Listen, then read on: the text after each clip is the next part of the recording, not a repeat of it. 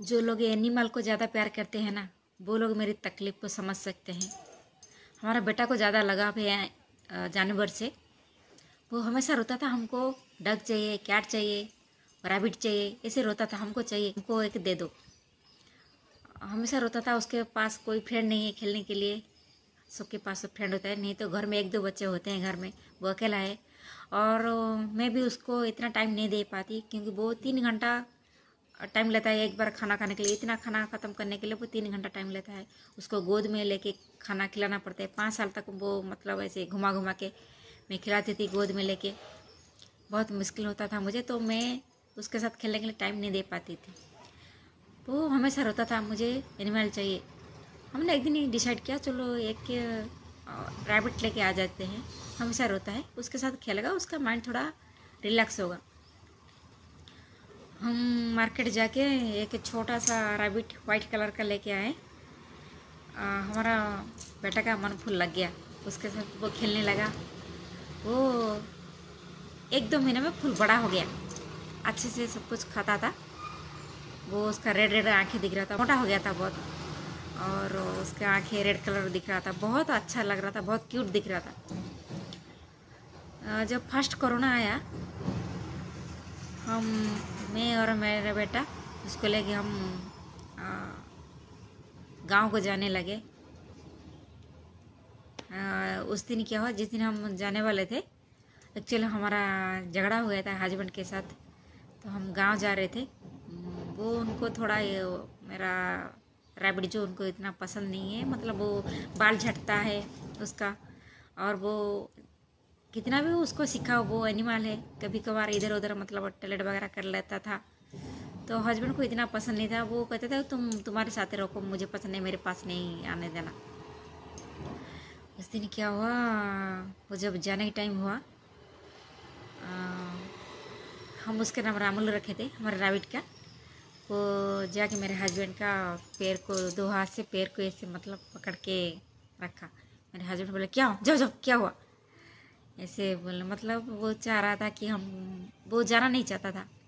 हमको रख लो हम इधर ही रहना चाहते हैं। शायद यही कहना चाहता था वो। उसके बाद हम जब घर गए घर पहुँचने के बाद हमको कोरोना हो गया था। तब तो बहुत मतलब प्रभाव था कोरोना का फ़र्स्ट कोरोना था। आ, हम घर पहुँचने के बाद सारे घर वालों को कोरोना हो गया। हम जैसे बिस्तर से उठे शायद मेरे रामुल को भी कोरोना हो गया था। बहुत तभी तो उसको बहुत ज़्यादा ख़राब होने लगा। हम उसको इधर उधर लेके हॉस्पिटल घुमाने लगे। किधर एनिमल का हॉस्पिटल है, वो दिखाने लगे। लेकिन सब लोग मतलब मना कर रहे थे। हम नहीं देख रहे, हमको इतना आइडिया नहीं है रैबिट के बारे में। हम नहीं देख रहे, किधर जाओ बंद है। मैं ठीक से उसको मतलब ट्रीटमेंट नहीं कर पा रही थी। मैं बहुत रोती थी। उसको इतना मतलब बचाने की मैं कोशिश कर रही थी। उसको दिन ब दिन उसका तबीयत फुल ख़राब होने लगा वो खाना छोड़ दिया वो फुल पतला हो गया। उसको देख के कोई मालूम नहीं पड़ेगा मतलब ये ज़िंदा है या मर गया। उसको साँसें चलेगा तो थोड़ा इधर ऐसे ऐसे होगा लेकिन वो भी आ, कभी कभी मुझे लगता था कि वो मर गई है। मैं बहुत रोती थी कोई कि बोलता था ऐसे करो वैसे करो। सारे लोग जो जो बोलते थे मैं वही करती थी कुछ भी करके मेरा रामुल ठीक हो जाए। लेकिन वो ठीक नहीं हो रहा था। कुछ भी नहीं खा रहा था, पी नहीं रहा था। मैं मेरा बेटा का मेडिसिन का जो ड्रपर है, उसमें एक एक बूंद दूध ला के उस, डाल रही थी उसके अंदर। वो भी निकल रहा था।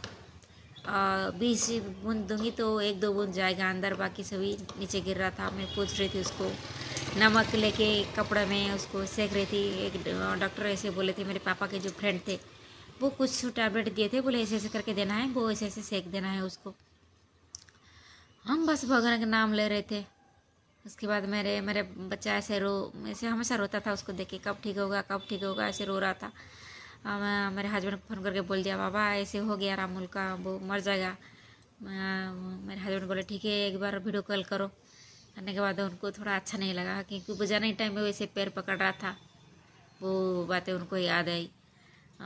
फिर बोले, वो मंदिर गए। जाके बोले, हम बैंगलोर जाके राघवेंद्र स्वामी। हम ज़्यादा मानते हैं उनको। बोले, हम जाके उधर दीप जला के आए और रामुल ठीक हो जाएगा। हम मतलब वो दुआ ही कर रहे थे। उसे मेरे घर वाला बोले, छोड़ दो। वो शायद ज़िंदा नहीं बचेगा, खा नहीं रहा है। कितना दिन ऐसे मतलब वो ना खा के वो ऐसे ज़िंदा रहेगा। तब वो पंद्रह दिन से बीस दिन हो गया था। मैं नहीं छोड़ रही थी, मैं नहीं, मैं तो ऐसे नहीं छोड़ सकती। वो मेरे भरोसा इतने दूर आया है। मेरे साथ उधर रखती अगर शायद शायद वो कुछ नहीं होता उसको। मैं लेके आई। और मेरी वजह से उसको ऐसे हो गया। ऐसे सोच के मैं कर रही थी, बहुत रो रही थी, भगवान को भी मन्नत मांग रही थी। ऐसे ऐसे करके मतलब मेरी दुआ रंग लाई। वो धीरे धीरे ठीक होने लगा। थोड़ा हिलने डुलने लगा। तो उसको पकड़ के जब बिठाई तो बैठने लगा। थोड़ा आँखें बड़े बड़े करके देखने लगा। थोड़ा उसको मतलब मेडिसिन वो खा रहा था, उसको मालूम पड़ा था मेडिसिन की वजह से मैं शायद ठीक हो रहा हूँ, कुछ हो रहा हूँ, उसको लग रहा था, वो बातें मान रहा था, मेडिसिन भी खा रहा था, दूध भी थोड़ा पी रहा था, उससे पहले वो कभी दूध नहीं पीता था। उसके बाद उसको मैं सारे सब्ज़ी बनाकर उसको मेल्ट करके, उसको मुँह में ऐसे, खुला करके उसके अंदर ठूसती थी क्योंकि वो आ करके मतलब खा नहीं पाता था। ऐसे कर करके वो फाइनली ठीक हो गया। मेरे भैया डिलीवरी पूछते थे, वो कैसा है रामुल कैसा है? अब ठीक हुआ, नहीं हुआ? डिलीवरी पूछते थे सब लोग। परेशान हो गए थे सब लोग। क्योंकि मैं ज़्यादा बहुत परेशान थी। मेरे बच्चा खाना नहीं खा रहा था, उसको देख के मेरा रामुल रामुल ऐसे कर रहा था, रो रहा था। मैं रात को एक बजे, दो बजे, बारह बजे, कभी मेरी नींद खुलती थी, मैं उसके पास आती थी, गैस में जाके वो नमक को कपड़े में ऐसे गर्म करके उसको सेकती थी। उसको गला के आगे मतलब इतना बड़ा सा हो गया था बबल जैसा बन गया था। आ, सब लोग बोल रहे थे वो ज़िंदा नहीं बचेगा लेकिन मैं कोशिश कर रही थी ऐसे मैं कोशिश ऐसे ही कर रही थी। मैं चुप के नहीं बढ़ रही थी जब तक तो उसको जान है मैं तो ऐसे छोड़ नहीं सकती थी। बहुत रोती थी बहुत दुआएँ मांगती थी भगवान को। वो ठीक हो गया। उसके बाद हम उसको इधर चित्र में लेके आ गए। आने के बाद मेरे हस्बैंड थोड़ा उसको ज़्यादा प्यार करने लगे क्योंकि वो मौत की मुझे आ गया था। वो सारे बातें उसकी याद आई उनको। वो उसको झूला पे लेके दो घंटा तक ऐसे झूला पे उसके बैठा के झूलाए। वो गो से नहीं उतर रहा था। ऐसे कुछ दिन हुआ वो बहुत मतलब आ, क्या बोलूँ इंसान जैसा था वो। वो मैक्सिमम टाइम आके एसी में सोता था हमारे बेडरूम में। आ, कभी कभी जानवर है ना कभी कभी मतलब एक दो कर लेता था। मेरे हस्बैंड गुस्सा होते थे तो मैं ऐसे खुला छोड़ देती थी बाहर आ, मतलब दूसरे रूम में। हॉल दूसरा बेडरूम किचन हर हर जगह में हो जाता था। हम हमारा बेडरूम जो है ना वो बंद कर लेते थे डोर वो रात भर डोर के बाहर से वो ऐसे बैठता था। मेरे हस्बैंड पाँच बजे उठते थे सुबह पाँच बजे उठते थे एक्सरसाइज करने के लिए। वो दौड़ के आ जाता था मेरे रूम में।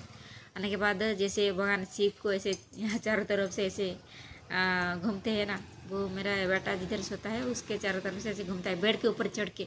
नीचे से जंप करके ऊपर आ जाता है और उसके बाद ऐसे घूमता है, उसके चारों तरफ़। घूमने के बाद उसको चढ़ के उसको उठाता है। मेरा बच्चा नींद में भी उसको पकड़ के रखता है, मैं मालूम पड़ जाता है उसको मतलब मेरा रामलो आ गया मेरे पास। उसके बाद उसके साथ खेल खेल के वो उड़ जाता है। ऐसे ही करता था।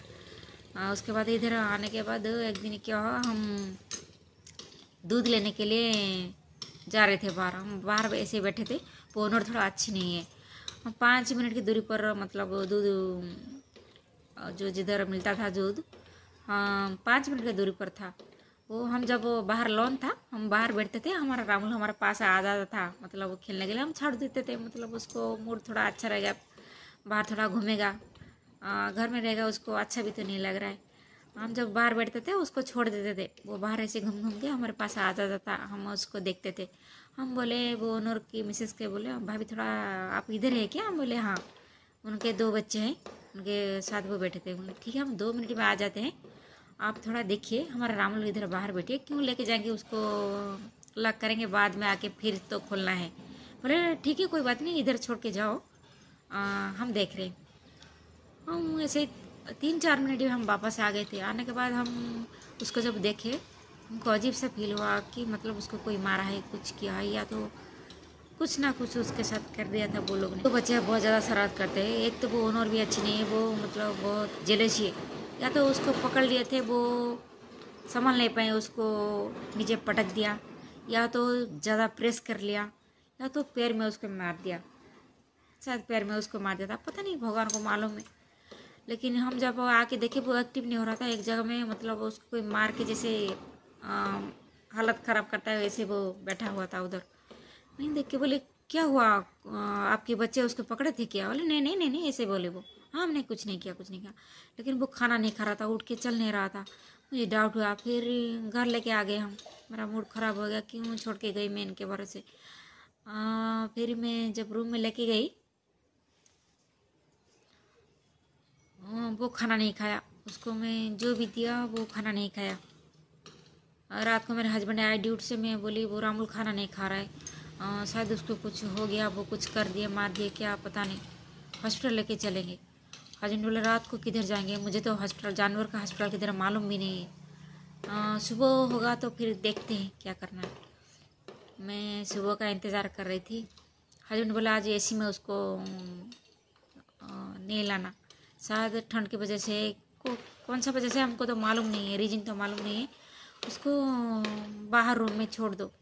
वो हॉल में, दूसरा रूम में वो इधर ऐसे आएगा जाएगा, फ़ैन ऑन कर दो। सुबह होगा तो फिर देखते हैं। मैं सुबह का इंतज़ार कर रही थी उसके पाप उछल के उसके ऊपर उसको बिठा दिया। पाँच जब पाँच बज गया मेरे हस्बैंड का बाहर उठने लगे वो एक्सरसाइज करने के लिए।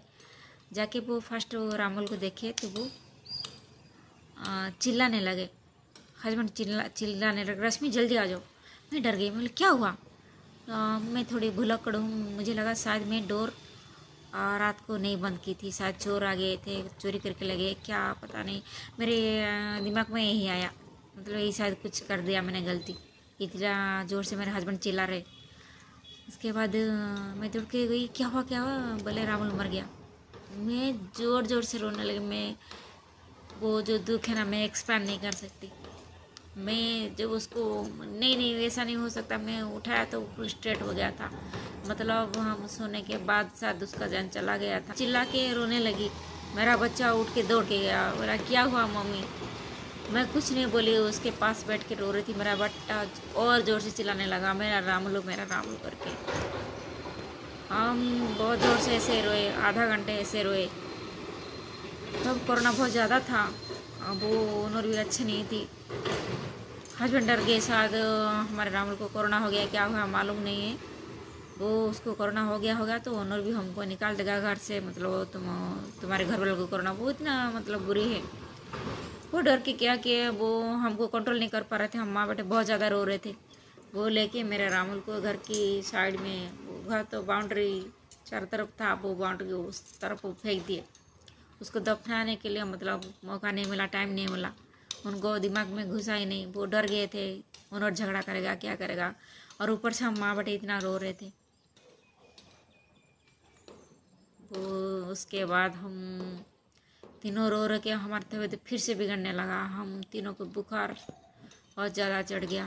हाँ हमको लगा शायद रामुल को भी कोरोना हो गया था, उसकी वजह से हमको भी हो गया है। ऐसे सोच रहे थे। हमको तबीयत बहुत ज़्यादा, हम एक्चुअल हम रो रहे के हमारी तबीयत ख़राब हो गया था। उसके बाद बहुत दिन हमको लगा ठीक होने के लिए। मेरा बच्चा खाना पीना छोड़ दिया। नींद में भी वो रामुल रामुल रहा था नींद में चलने लगा वो डिप्रेशन में जाने लगा बहुत रो रहा था। ऐसे लग रहा था मानो जैसे घर में आ, कोई इंसान की मौत हो जाता है जैसे फील होता है ना वैसे ही हमको लग रहा था। खाना पीना नहीं हो रहा था घर में घुसने को नहीं हो रहा था हर तरफ़ वो ही दिख रहा था।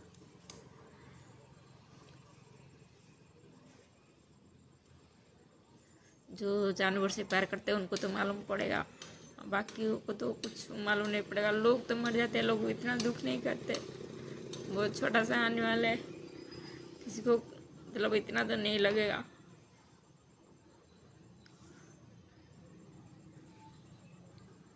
मेरा बच्चा को मतलब वो बहुत मुश्किल हो रहा था उसको कंट्रोल करने के लिए। वो पता नहीं कैसे कैसे हो गया था। हम भी उसको भूल नहीं पा रहे थे। ऊपर से उसको मतलब झूठे मोटे समझा रहे थे कि कुछ नहीं, छोड़ो छोड़ो। वो बोल रहा था, वो जाके देख रहा था। वो फिर से ज़िंदा हो जाएगा। भगवान को मतलब दिन रात जाके ऐसे बोल रहा था, भगवान मेरे रामुल को ठीक कर दो, उसको ज़िंदा कर दो। उसको बच्चा है, वो उसको मालूम नहीं। जो एक बार मर जाते, वो दोबारा कभी नहीं आते। और वो ऐसे ही रो रहा था। एक दो महीना ऐसे मतलब बहुत मुश्किल हो रहा था हमको मतलब उसको कंट्रोल करने के लिए। उसके बाद हमने मेरे हस्बैंड और लाने के लिए वो मतलब मैं बोलती हूँ दूसरा लेके आ जाते हैं। उसके साथ कोई नहीं खेलने के लिए अ, उसके टाइम पास करने के लिए। वो तो सारे बातें उसको बोलता था रामुल को। हाँ ये देखो अच्छा कार्टून है ये देखो अच्छा जोक चल रहा है। मोबाइल में उसको दिखा रहा था। अ, सब कुछ उसके साथ वो शेयर कर था ऐसे लग रहा था वो भी इंसान है। ऐसे वो उसके साथ बात करता था। कभी ऐसा नहीं हुआ। हाँ उसको जब मतलब भूख लगता था, हमको थोड़ा काट लेता था, वो इशारा तो करते हैं, वो काटते नहीं है, उनका वो इशारा होता है तो हमको भूख लगी है, खाना दो। वो ऐसे ही इशारा करते हैं, लेकिन हस्बैंड कैसे करता था? मुझे भी करता था, लेकिन ऐसा कभी नहीं हुआ, मेरे बेटा को कभी एक बार किया हो, कभी नहीं किया। फिर हमने डिसाइड किया कि दूसरा लेके आएँगे। मेरे हस्बैंड राज़ी नहीं हो रहे थे मतलब दूसरा लेके नहीं आएँगे हम, ऐसे बहुत तकलीफ़ हो रहा है। मरने के बाद हमको भूलने में बहुत मतलब मुश्किल हो रहा है। लेकिन मेरे बच्चे का हालत मुझसे देख नहीं जा रही थी। मैं बोली, कुछ भी करके बच्चा को हमको ज़िंदा रखना है। बच्चा तो मतलब डिप्रेशन में जा रहा है। दूसरा लेके आएँगे तो वो थोड़ा हो जाएगा। उसके बाद हमने डिसाइड किया और दूसरे वाले लेके आ गए। दूसरे के दूसरे वाला जब लेके दुख और भी बड़ा बन गया। हम दूसरी वीडियो बनाएँगे। ये वीडियो तो बहुत ज़्यादा बड़ा हो जाएगा। दूसरे के बारे में हम दूसरे वीडियो बना देंगे। रखते हैं।